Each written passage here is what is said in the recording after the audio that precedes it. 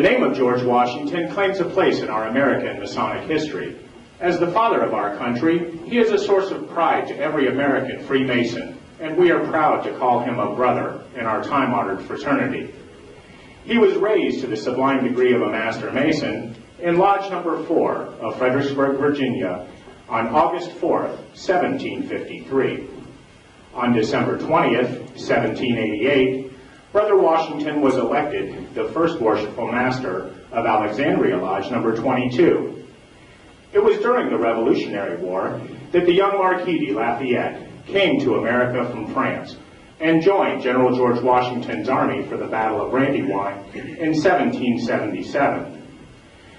The affection each man held for each other as friends and brothers was legend. The American cause had become Lafayette's cause. The legacy that developed through this affection led to the presentation of a special Masonic apron at Mount Vernon in August of 1784. It was made of white satin and hand embroidered by Madame Lafayette. This apron has become a study in symbolism Symbols are silent emblems having meaning only when interpreted.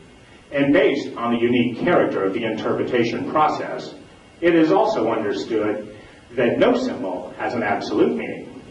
For example, the apron border colors of red, white, and blue are the national colors of both the United States and France, and the colors of our national flag. In Masonry, the color red is a symbol of courage, white for innocence, and blue for fidelity. The lambskin, or white leather apron, is an emblem of innocence and the badge of a Mason, more ancient than the golden fleece or Roman eagle, more honorable than the star and garter, or any other order that could be conferred upon me at this or any future period by king, prince, potentate, or any other person except he be a Mason. It was hoped that I would wear it with pleasure to myself and honor to the fraternity. The all-seeing eye is a symbol of watchfulness and is the eye of the grand architect. It is a symbol of his divine watchfulness and care of the universe. The all-seeing eye, whom the sun, moon, and stars obey, and under whose watchful care even comets perform their stupendous revolutions, pervades the inmost recesses of the human heart and rewards us according to our merits. The rays represent light. Freemasons are emphatically called the sons of light because they are entitled to be in possession of the true meaning and knowledge of this symbol. It is in fact the first of all symbols presented to the initiate and continues to be presented to him in various forms throughout his Masonic career. But his light not only came from God, it also makes man's way clear before him. So it is employed to signify moral truth. The dove in early masonry was a symbol of Noah's messenger.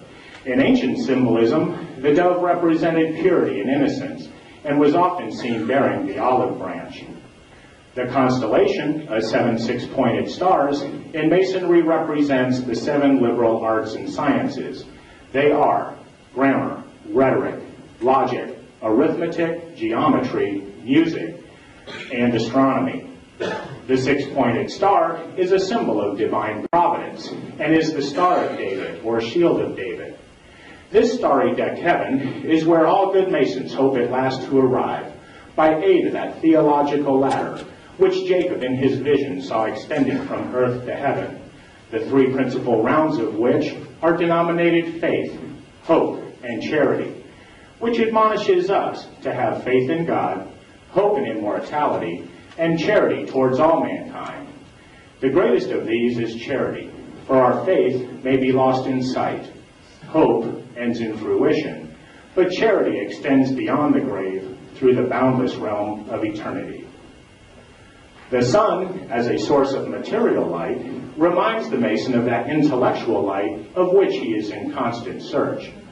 The worshipful master, who rules and governs his lodge, is said to be the symbol of the rising sun in the east.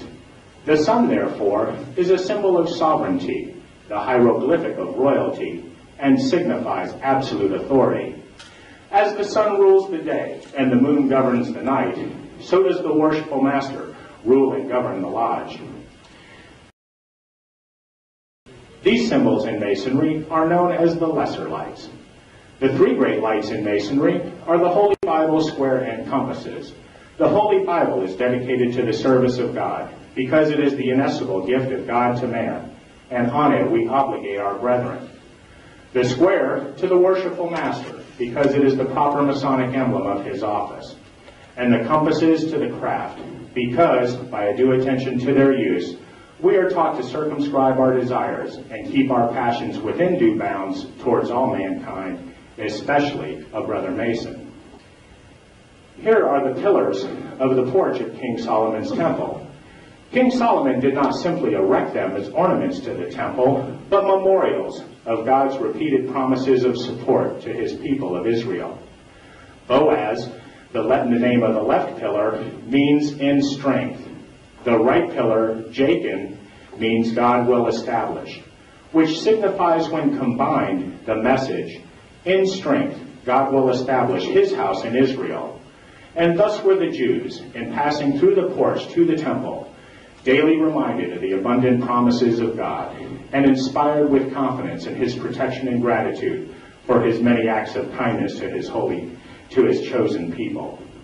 The globes on the left represents earth, that on the right, heaven. The outer pillars of the porch are called the pillars of Enoch. Enoch, fearing that the principles of the arts and sciences might be lost, erected two pillars, one of marble to resist fire, the other of brass to resist water. On each he engraved all the knowledge which he feared would be lost. The, the globes represent unity, peace, and plenty.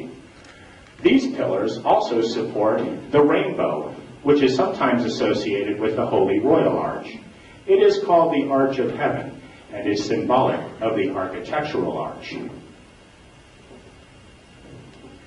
The mosaic pavement is a representation of the ground floor of King Solomon's temple.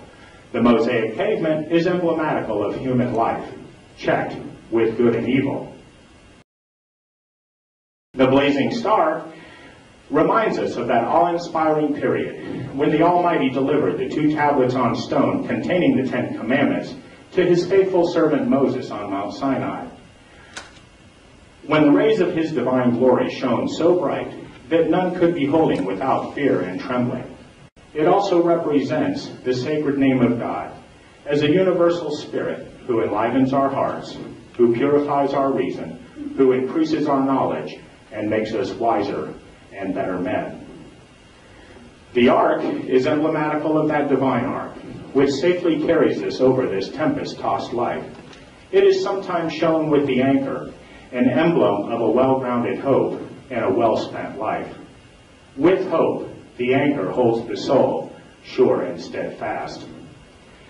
The square within bounds is a symbol formed by four stonemason squares of equal arms superimposed one on the other to form a central cube.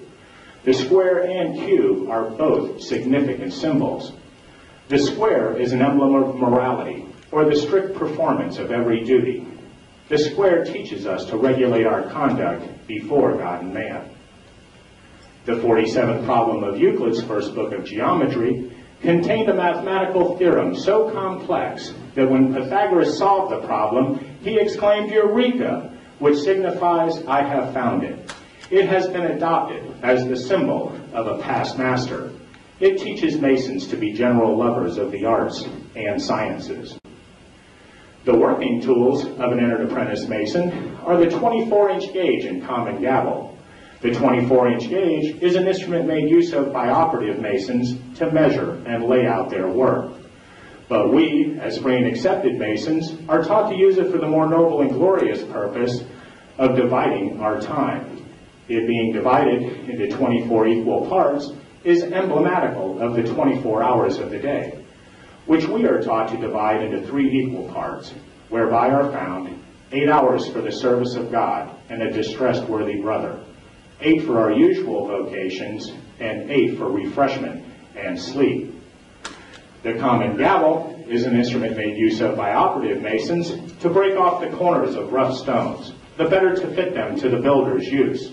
But we, as free and accepted masons, are taught to use it for the more noble and glorious purpose of divesting our hearts and consciences of the vices and superfluities of life, thereby fitting our minds as living stones for that spiritual building, that house not made with hands, eternal in the heavens.